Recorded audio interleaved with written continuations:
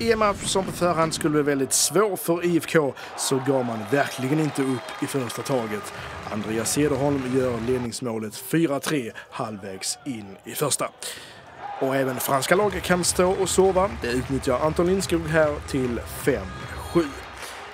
Men det var som väntat Nantes som styrde och ställde och med både skytte och rörlighet så höll det säkert avstånd till de orangea i hemmalaget under i stort sett hela matchen. Det hjälpte inte hela vägen att våra eminenta målvakter, framförallt Dan Beutler här med en fantastisk räddning, satte käppar i hjulet. Eller att man faktiskt visade underbar offervilja här genom Olafur Gudmundsson som är blixtsnabb hem i försvaret. Halvtidsresultatet skrevs till 12-15. Även efter halvtidsvilan fortsatte fransmännens dominans och kanske också lite fler enkla IFK-missar, bland annat skott helt utanför målburen. Såklart lyste vårsolen dock lite extra ibland. Här på utkast av Lokau sätter Ante Lindskog 21-23 här. Mycket vackert. Förlusten kunde man kanske stå ut med, men att få ytterligare en skada efter ett huvudskott på Lukau skulle ju varit riktigt illa. Som tur är reste sig vår keeper igen, men knockouten den kom i matchen som slutade 23-27 till Nantes. Även om det var betydligt bättre geist i det brandgula den här gången. Vi får väl ändå se på den här matchen som trots förlusten någonting positivt. Ja, det tycker jag. Absolut. Eh, tråkigt med hedersamma förluster som man säger men, eh, men ett stort eh, steg framåt tycker jag. Alltså i, eh, i både anfall och försvar faktiskt. Det är klart att det ibland kan det se kanske löjligt enkelt ut när de gör mål men det är fantastiskt svårt där nere.